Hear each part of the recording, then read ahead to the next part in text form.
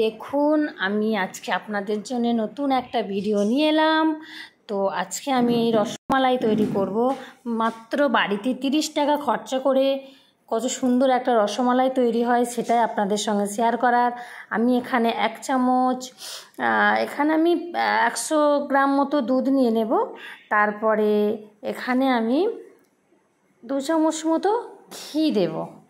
দেখেন, আমি দু চামচ মতো ঘি দিয়ে নিলাম। তারপরে আমি এখানে দেব একটু খাবার সোঁটা।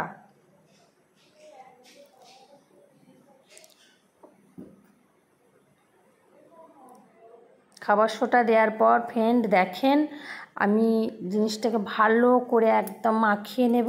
ফ্রেন্ড আমি ডিম একটা ভেঙে রেখেছিলাম, তো এখানে ডিম কিছুটা মিশিয়ে রাখতে হবে আমাকে, ভেঙে রাখে সেখান থেকে একটু একটু করে নিয়ে আমাকে মিশিয়ে নিতে হবে, নিয়ে একটা ডো তৈরি করে নিতে হবে।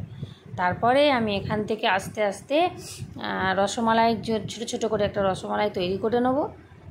করে নিয়ে তারপরেই আপনাদের কাছে রেডি হয়ে যাবে রসমালাই।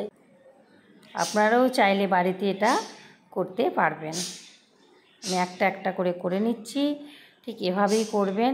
হাতে যদি লেগে যায়, তার জন্য আমি হাতে ঘি দিয়ে নিয়েছি, আপনারাও চাইলে হাতে ঘি মাখিয়ে নেবেন। তাহলে আর আপনার হাতে লেগে যাবে না। আমি এবার কড়াই পানি দিয়ে দিলাম। তো এবার এখানে আমি দুধ দিয়ে দেবো দু চামচ মতো। কারণ দুধেই তো হবে রসমালাইটা। চলেন আমার। তাই দুধ দিয়ে দিলাম দু চামচ। দিয়ে আমি দুধটাকে করে থাকব। খানিকটা নাড়ার পর আমি রসমালাইগুলো দুধে দিয়ে দেব। দেওয়ার পর আমি কিছুক্ষণ মতো, দু মিনিট মতো চাপা দিয়ে রাখব, তারপর চিনি দিয়ে দেব।